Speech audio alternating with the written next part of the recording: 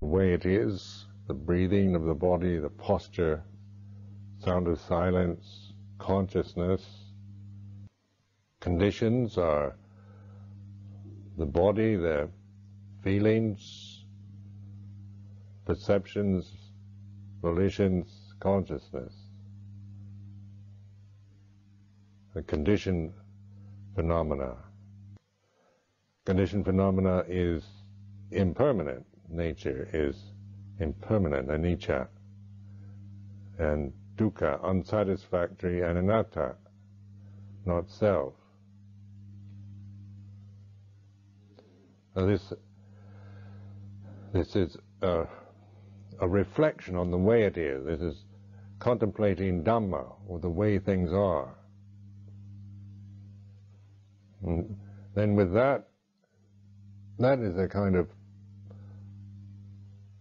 having recalled that, that our refuge is in Buddha Dhamma Sangha, then we can begin to look at the way we tend to react emotionally, the attachments and to this and that, fears and desires, the compounding, the adding to, the compli- uh, making complicated, uh, seasoning everything with our fears and desires,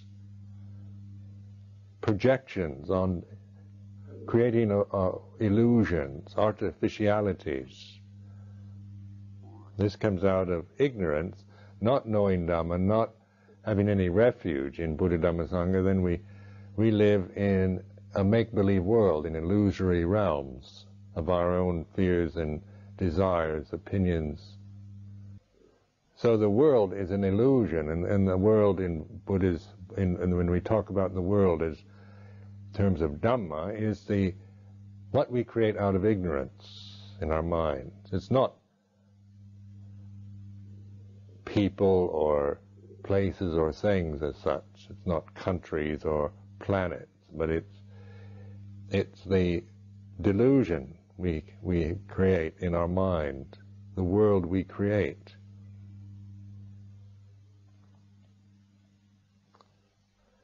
We are the demiurge, the creator of the world.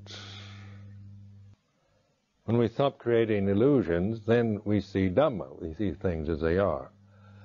Then, in, when there's when there's Dhamma, then there is no suffering because we don't. We're no longer creating the conditions for suffering.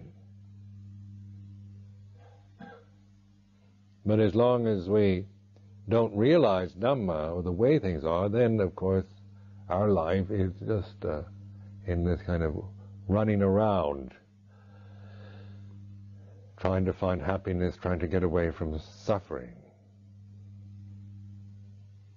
Now recognize that the nature of consciousness, being born, and the sensory realm that we're living in is this way the human body is like this.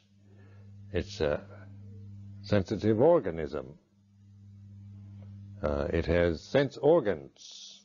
It has eyes, ears, nose, tongue, body, uh, brain, feels, and and we we feeling uh, is that we're attracted and repelled by what impinges on our senses.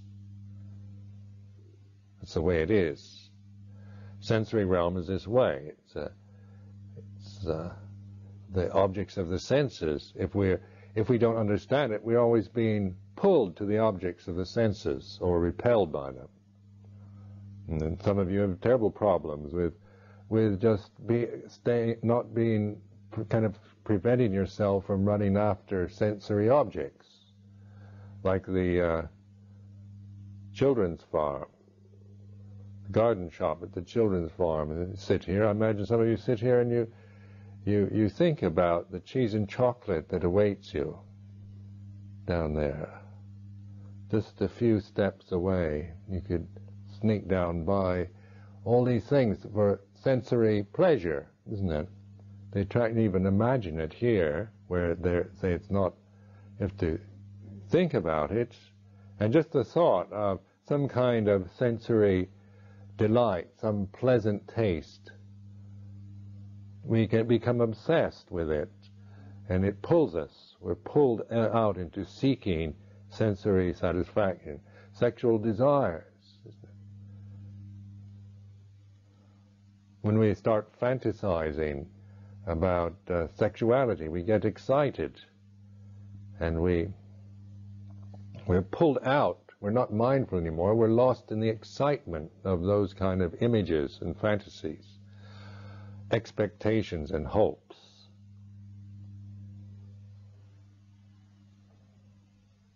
Wanting to listen to pleasant to, to music or to to entertainments and to just become absorbed into the objective realms of the object of the senses.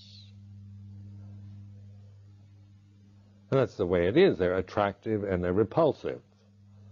We hope, we, you know, we fear getting stuck in some with uh, sensory objects that are ugly or painful or unpleasant.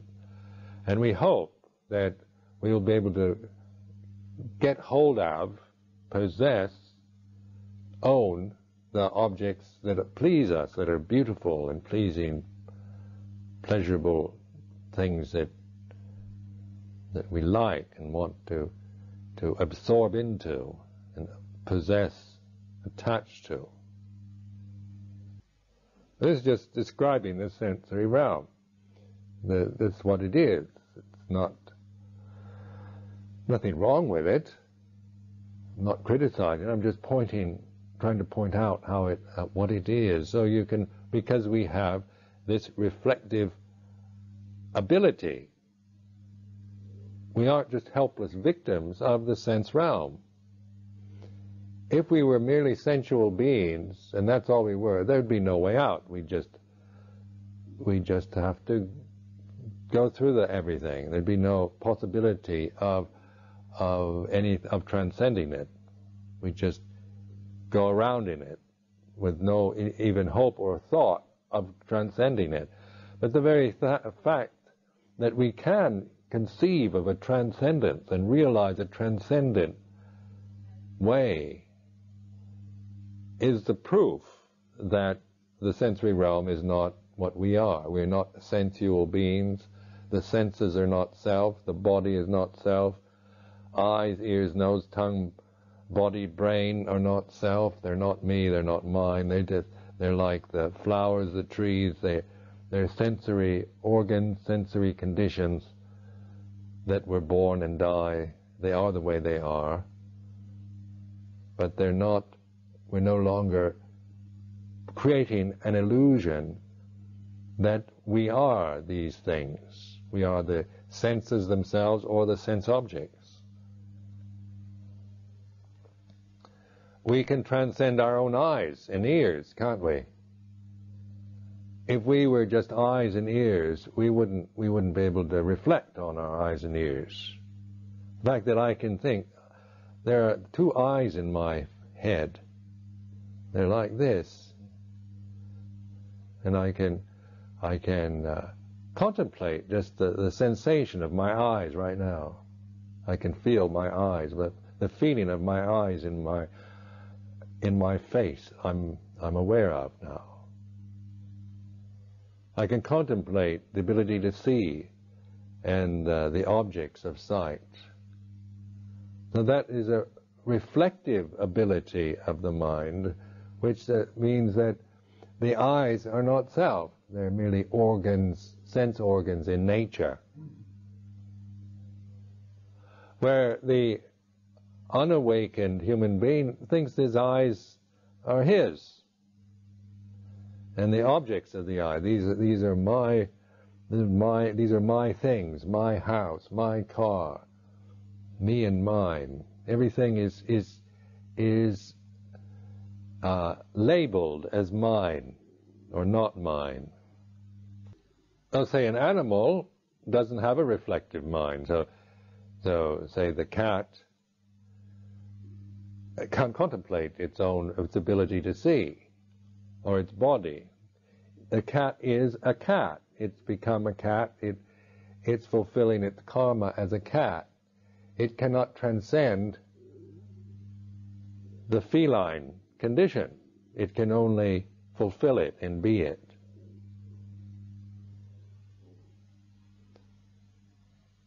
But the human condition, since it's not an animal condition, even though we, we have a lot in common with the animals, we transcend animality, the animality of our bodies and instincts. We're not that. That's not what we are. We, because we can observe it, reflect, doesn't mean that we don't have those desires or those conditions. We aren't affected by that, but it means that we uh, transcend it. We know it as a, something that arises and ceases because we are reflecting on the way it is, on Dhamma, rather than becoming human beings even. We're not, we're not trying to become human beings anymore. In the samana life, this holy life, is to transcend our human karma. No longer to identify even with uh, the perception of human of being a human being. This outgoing energy, the kind of the kind of exuberance of our human state, is always kind of out looking for something to do, restless energies, always going out to seek or to kill time or to do something. Uh, note this, this, kind of, this terrible restlessness that we suffer from. So that in the restraint of monasticism is a, it's, it's, it's like putting ourselves in a corral to break this wild nature. Like a wild horse, you have to put into a corral.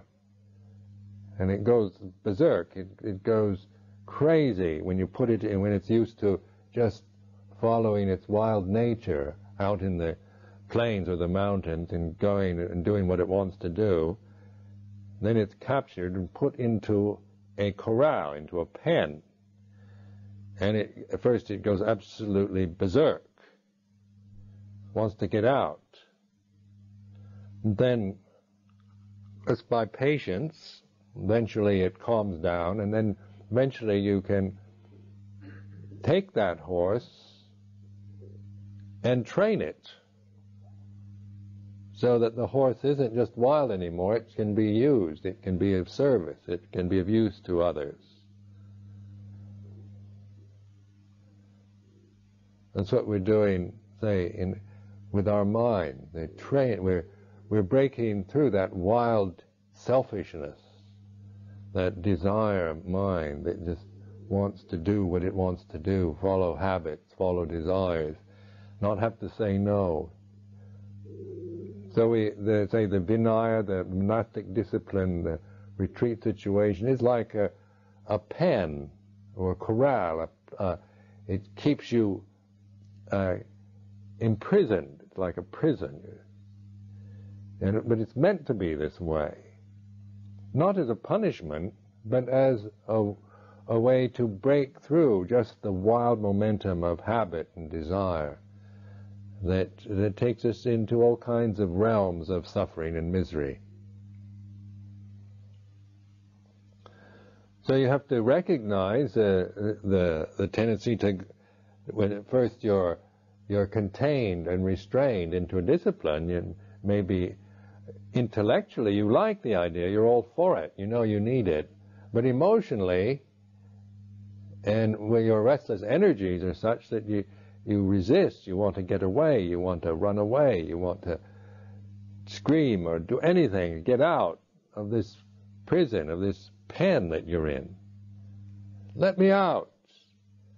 I look at some of you and I see kind of this this this raging horse. Let me out of here. I want to get out. I want to go to the cock and bottle.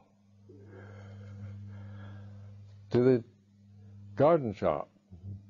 Just going to go into Hemel Hempstead or Berkhamsted or, gosh, a real a trip to London would really be nice. Any kind of anything to do, any any distraction, because the the uh, the wild nature is that way. It's outgoing, always trying to to uh, run away, seek some something that to absorb into, seek an object, to be reborn again, to follow the habit, momentum of habits, desire. But the training of the samana then is to try to stay within the limit, within the pen, within the corral, and to patiently to learn how to be very patient and how to calm the mind, how to calm yourself down, to give up, to say, I'll just stay here forever. I'll just surrender to this limitation. My intention is just to give up. I give up to this limitation. So that you you have to uh, you know to, to note the limitation, make it a fully conscious acceptance and surrender to it, not just a kind of half-hearted uh, attempt to do so, or not really understanding how to do it, just kind of thinking of it in in a not very serious or profound way. You you don't really understand what's happening to you. Like uh, uh, Sister Rojana wanted to get out of the pen, and she was blaming everybody for keeping her in it. You're trying to force me to stay, and you are, and that's not that's not right, is it? Not not a matter of forcing people to stay, but it's uh, to note that this is what, what it's all about. You're, you're here to remain within this limit in order to, to see how, what, what happens, what the, the mind, how it resists, how it wants to get away, wants to be free, doesn't want to be hemmed in. Don't fence me in. Wild Western cowboy we're usually a lot of cowboys, aren't we? When we first come into the Sangha. There's wild men and women.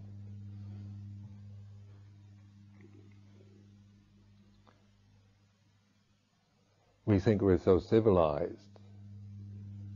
But we aren't. We're just wild people. Undeveloped. Conditioned it's about all the best you can say. We're conditioned in certain ways. But we're still wild. We're not, we're not in charge. We don't understand. We have no wisdom to see. We're merely uh, kind of conditioned, programmed into, into doing things a certain way. And most of us come from fairly kind of privileged background, middle class background. So we're used to having a certain amount of luxuries as just taken for granted, like tea and coffee at our beck and call, have things around that just, uh, you know, when we want them, when the middle class type of family, we, we expect life to be comfortable and have a nice high standard of living. Things around avail- easily available is how we've we're conditioned. That's why last night I was emphasizing the importance of of bringing, acknowledging the the uh, the four requisites on their most basic level, and that helps a lot to see what being middle class is about. Helps me anyway. When you think of rag robes and fermented urine, and uh, my middle class mind shudders at that. Oh dear, how dreadful want to get, you know, don't want to wear rags or drink fermented urine. You've got to have, you know, decent quality cloth and and this and that, and you have to have the, you know, good medical treatments. You have to have a proper kind of shelter and uh, good nourishing food. When a monk or a nun gets sick, we send them to the doctors. Usually the doctors say, well, you should, you should eat in the evening and have sex. doctors, medical profession doesn't, do not understand monasticism or holy life. They think that all your problems, physical problems, are due to um, celibacy and not eating dinner.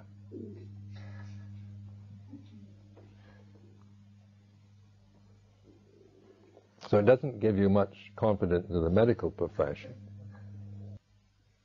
Now, when you are in a restrained, in that, you have to watch these desires die away.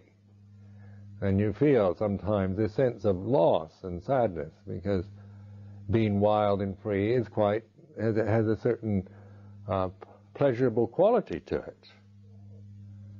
Being able to do what you want, being free to go and do what you want, and just knowing that you can you're you can just do what you want. You're not bound by anything.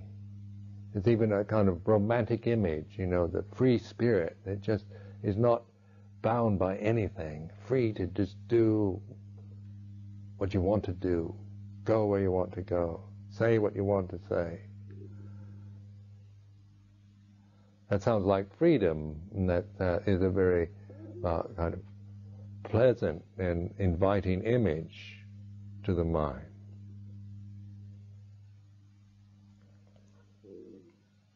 So that in this life you feel a, a sense of of uh, sorrow a lot, a sorrow and grief and sadness, because these desires are dying away. You have to let them go, and there's this this inner death that's taking place. Your desires are ceasing and dying away. And when you're very much identified with desire, you feel sometimes you you are dying, that you are losing something, and then we tend to go into doubt. We think this this is a, I've got to get out of this place. I've got to leave. I've got to get away. This is the this is an evil thing. We can even think of being a Buddhist monk or nun as an evil thing.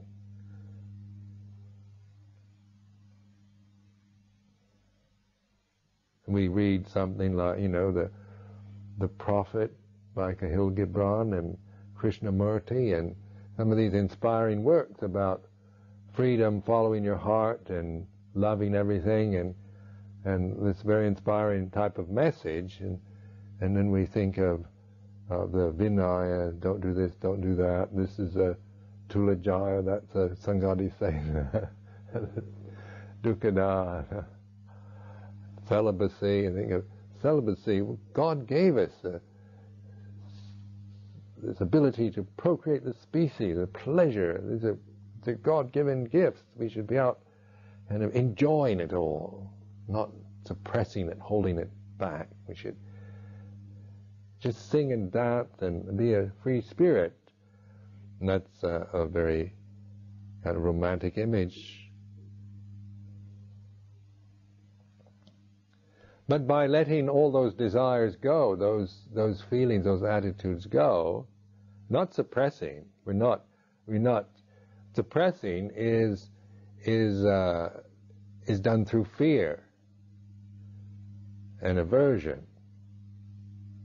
But through understanding, we let go of those desires, those ideas, and more and more we we find say this we realize a transcendent the transcendent truth rather than just being caught up in these uh, exciting or attractive conditions. Because the whole purpose and aim of the holy life is the realization of transcendent reality of dhamma of truth and the beauty of it lies in the fact that that you don't need to be free and do what you want. You can just sit, stand, walk, or lie down, just with breathing, just with the way things are. One is free.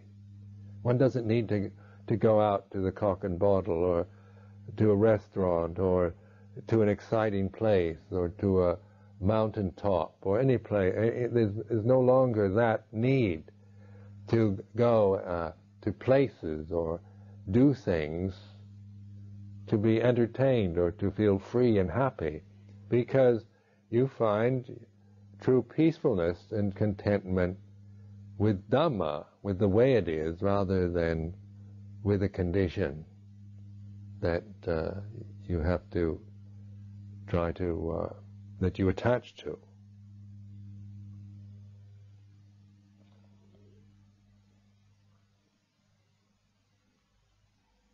So this outgoing tendency of desire, seeking things, looking, looking for the right person, for the perfect place, for something or somebody or some condition that will fulfill me. That's that's the desire body, the desire mind. Desire is that way. Tanha is it's always looking for something. It's it has no kind of permanent soul or anything. It, it's just it's just a habit of the mind. But it, it it's always looking for something. If you if you identify with your desires, then you're always caught in this kind of look going out to find something, having to get something. So desire always leaves us with a suffering of some sort. Even when we get what we desire, the desire still operates. We want something more. It doesn't, it, desire is never, it can be momentarily kind of gratified is the best you can do. The most you can expect out of following desire is a kind of momentary gratification. But then it all starts again. You want something else, or more of what you want. So desire as an end in itself can only lead us to Soka Parideva Dukkha Tomanatsu Payasa. That's why in the in meditation, like sitting posture, you're you're training yourself to to surrender to a posture of the body, stillness of sitting. At first, isn't it? When we first start sitting, we feel really sometimes just uh, we're going crazy because we, the body is not used to being still or sitting still for very long. So you train it. You you you don't you don't beat it up and force it, and brutalize it, and make it sit still. A kind of an act of brutality. You you train it like to to break a horse. The wild spirit of a horse you can't do it through brutalizing it, through beating it. You have to to break it through uh, training it, through encouraging, through through uh, getting its confidence.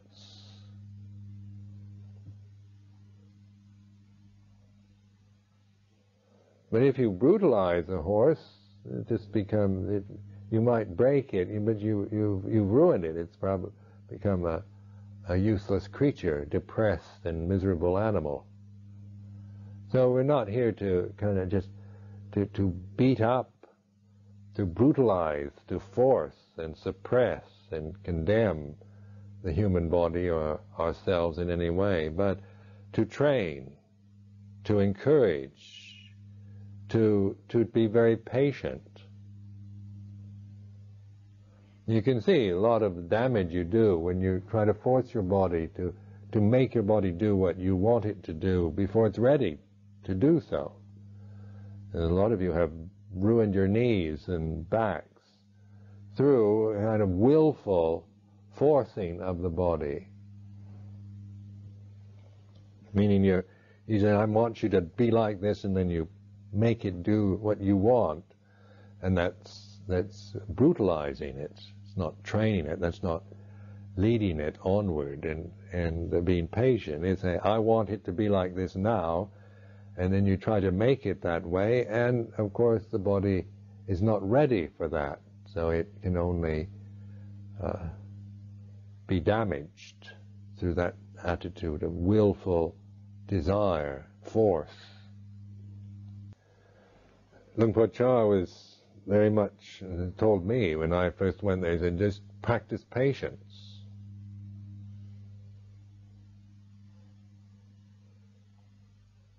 And so I, I, I did. I practiced. I really determined to, to use everything for developing patience. I determined to endure what I didn't think I could endure. And I, I learned I could endure. I realized I, I was quite resilient being and I could endure anything if I, if I made that determination. Where my desire mind and my ego, oh, I can't stand this, I don't see the point in this, I won't uh, grumble, grumble, complain, complain, I can't do it, I fed up, and, Uh, that kind of stuff is if you believe it, then you end up becoming a person like that all the, the rest of your life. You're going to be a, a, a wimp, a grumbler. Can't do anything because I can't do it. I just don't feel well enough and I can't stand it and not necessary. So you, you don't develop patience. And patience isn't willful patience, like it's not like holding a gun to your head and making yourself do something, but it's, it's it has to be combined with, with like with metta, with kindness and wise reflection, a kind of training and guiding and encouraging rather than pushing and forcing.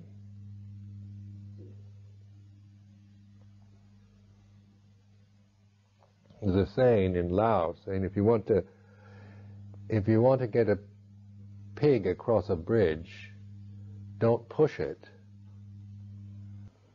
Because if you try to push a pig, it digs in its heel, it won't move. Where if you lead it across, then it you can get it across the bridge. So, so this is, if you try to push yourself, we're all pigs, aren't we? if we try, if we just push ourselves, then we we end up not getting anywhere. We're just stuck. Just the willful pushing and forcing ourselves, we end up getting stuck. We can't get anywhere with that with that kind of thing. So patience isn't uh, a kind of bloody-minded stubbornness to, to willfulness, but it is a gentle uh, brightness and willingness to bear with things, to develop a patient mind, to be able to endure things, to endure situations and endure restless feelings and pain and, and boredom and despair, to put up with these things.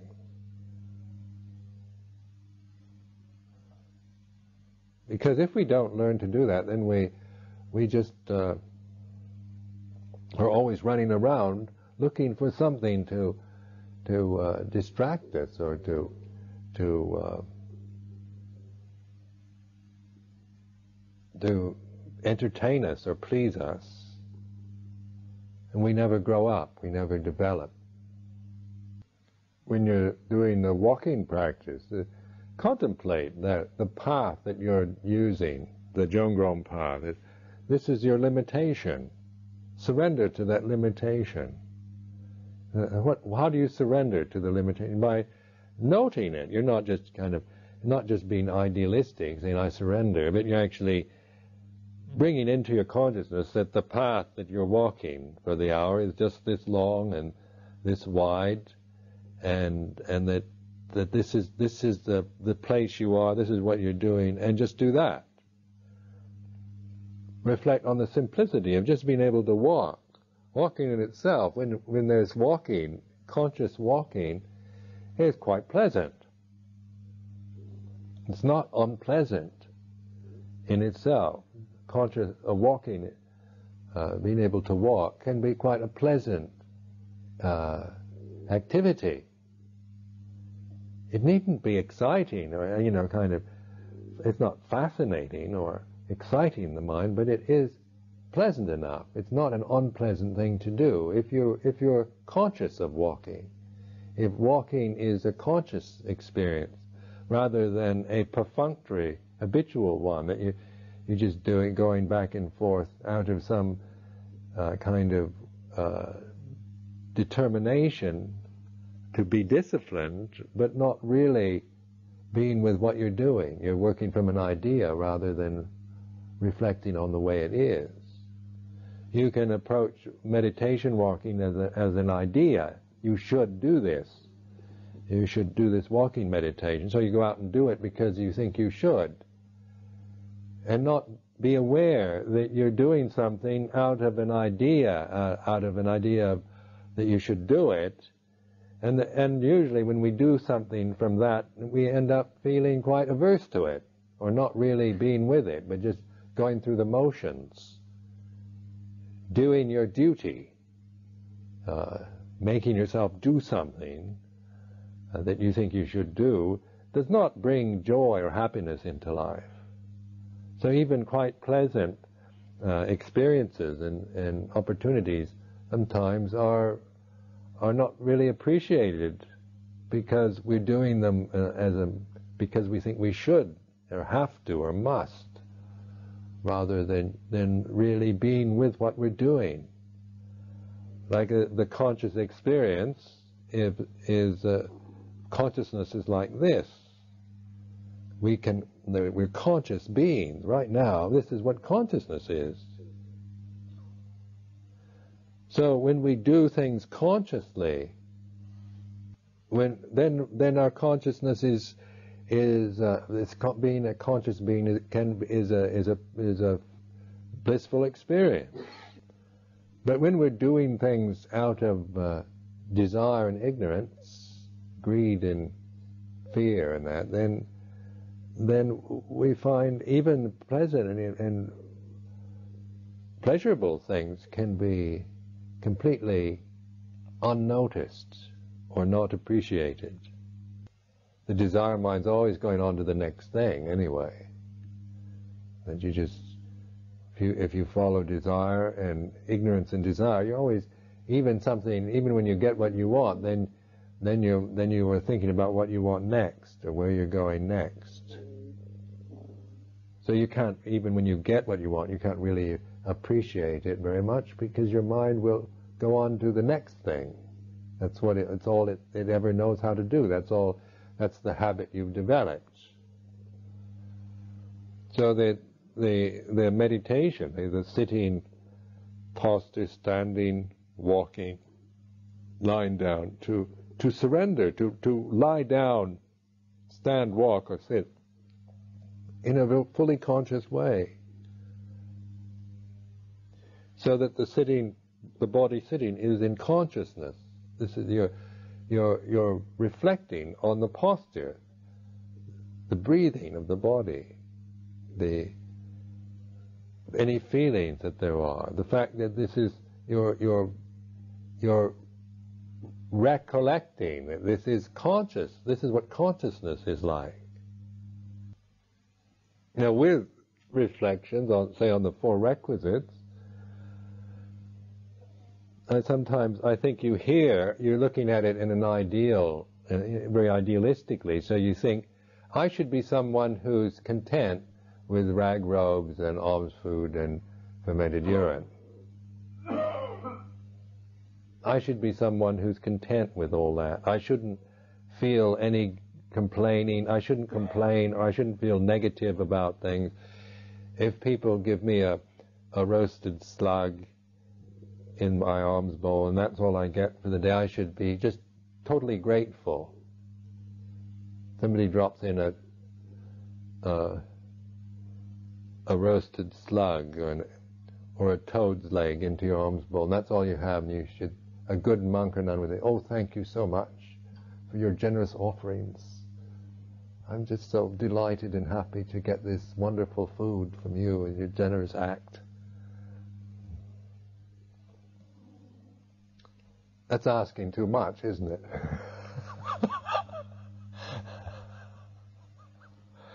Is that what some of you think you should do?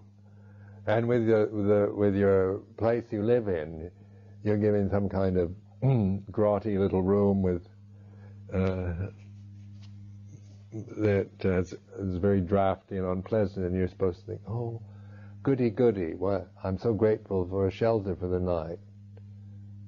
Thank you so very much. And then if you feel any complaining, you think, oh, what a grotty room, why do they have to give me this dump? That you're somehow not a very good samana. I'm so happy and glad that I'm, for everything I'm given. Do you think you should become that kind of a person?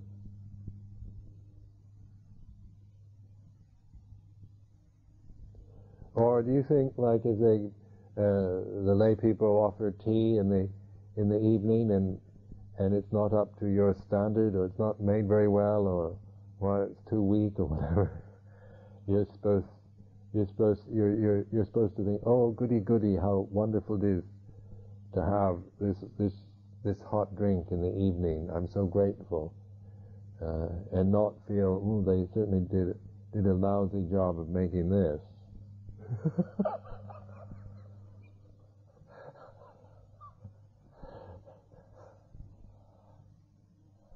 now recognize, I'm not asking you to become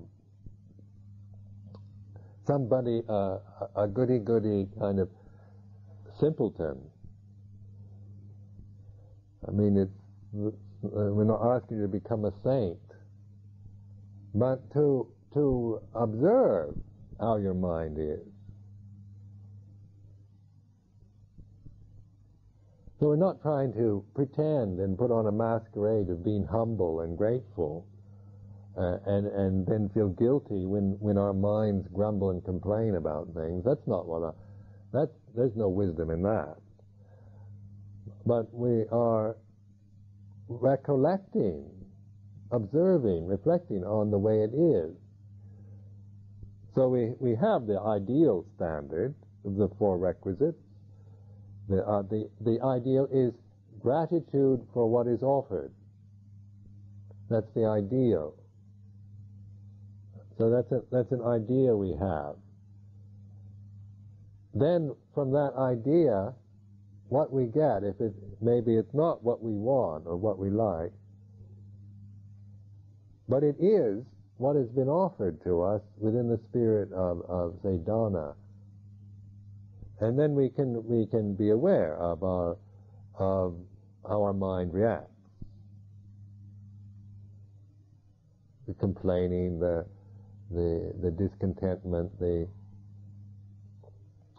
the uh, guilt about it, or the trying to pretend that we're really grateful when we aren't, trying to be nice about everything, trying to be uh, good sport, uh, trying to be someone who's who's not causing any problems. We're, we're watching and observing these uh, how how our habitual tendencies uh, react to various situations. Because through that recognition, you can you can let go of it. You can't let go of anything until you actually uh, fully accept and know what, what, what, it, what you're attached to. You can't let go as an ideal. You know, ideally, I'd like to be letting go of everything. I shouldn't be attached to anything. Is a is a high-minded ideal. But life, let's say, on a practical level of survival and experience, is like this.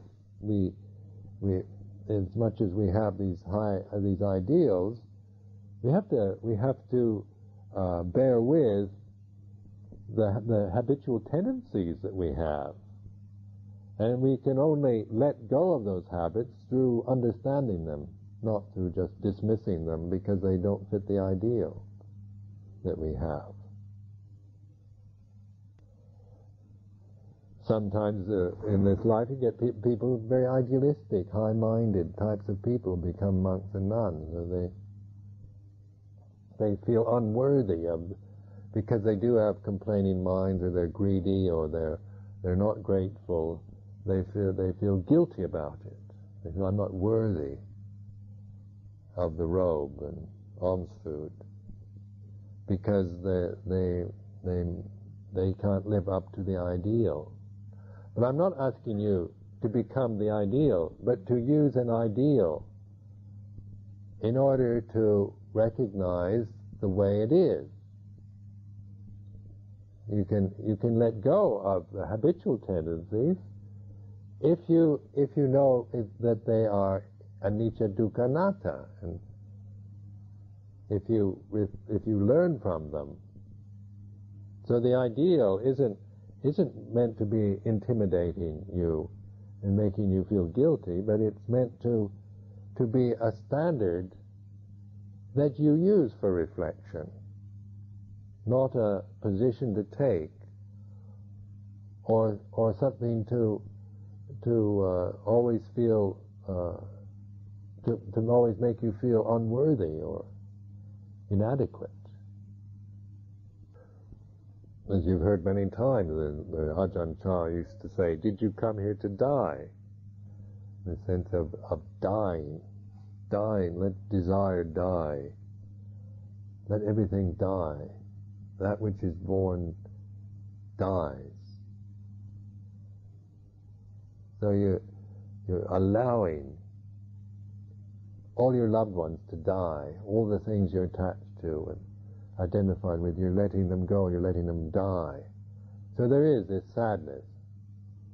Uh, it can be quite terrifying sometimes, quite frightening when you when you experiencing these inner deaths. So therefore, the, the reflection on the on the refuges is the most uh, helpful way to to remind uh, and to remember that the refuges are refuges in in immortal reality rather than in conditioned phenomena. We say, all that is mine, beloved and pleasing, will become otherwise. That's very sad, isn't it? When you think about that. All that is mine, beloved and pleasing, will become otherwise, will become separated from me. All my loved ones will be separated from me.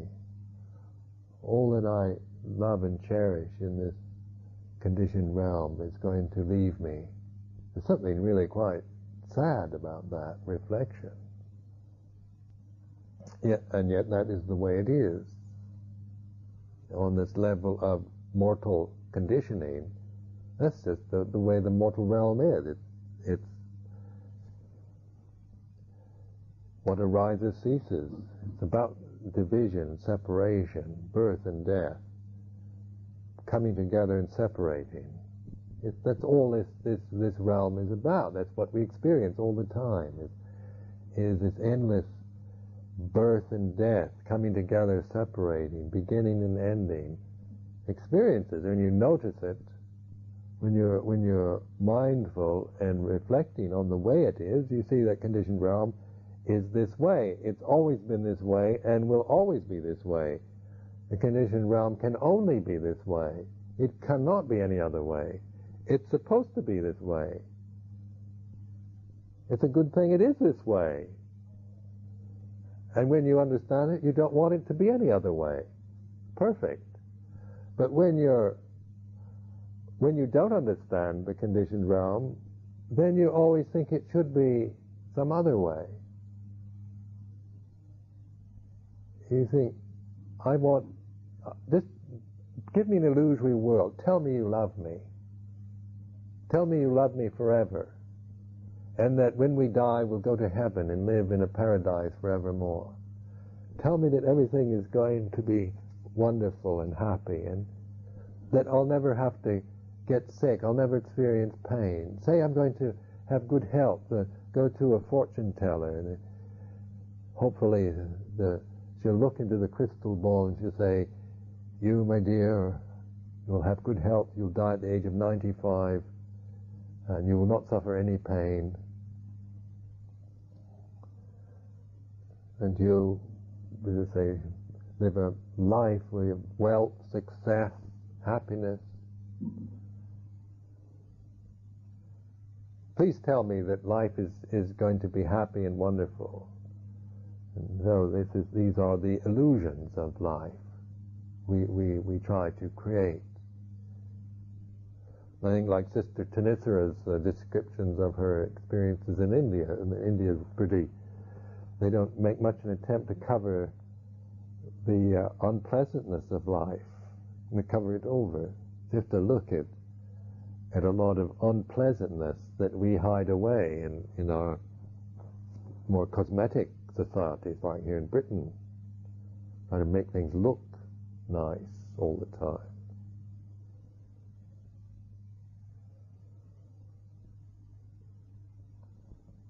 So all that is mine, beloved and pleasing, will become otherwise is, is an important reflection.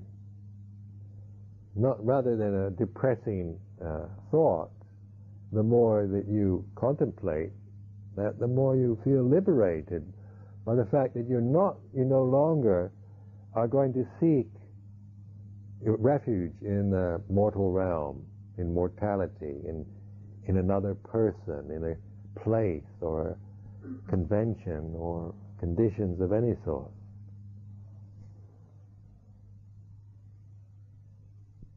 And there's a kind of joy that comes with with that realization that you, you're not going to go around. You don't. You're not looking for something anymore. You're not trying to find something, get something to hold on to. Because the liberation is there's nothing wrong. There's nothing. Uh, there's nothing really wrong. There's nothing to fear at all. But not because not to to to cling to that idea that there's nothing to fear, but to realize the true nature of things. That realization is the realization that there's nothing to fear.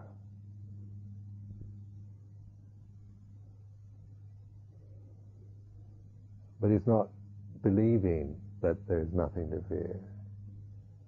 And don't take, don't go around there. Ajahn Sumedho said there's nothing to fear. Oh, I feel so much better. I've been frightened for so long. Ajahn Sumedho said there's nothing to fear. Phew. I'm so relieved. I really like that. But you don't. You've not made any attempt to look very deeply at anything. You're going to have kind of momentary relief. You think oh, Ajahn Sumedho said that, but then maybe he's wrong.